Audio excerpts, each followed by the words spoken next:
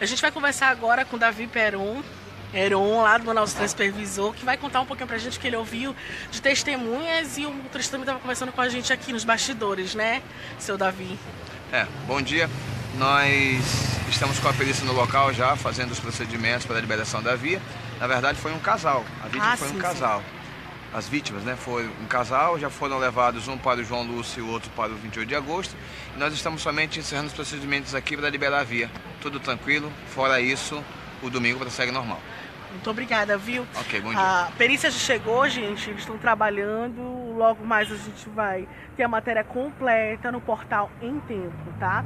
Foi um acidente às 10h20 aqui na Rua Borba, no bairro Cachoeirinha, tá bom, gente? Logo mais a matéria completa com os detalhes no www.emtempo.com.br.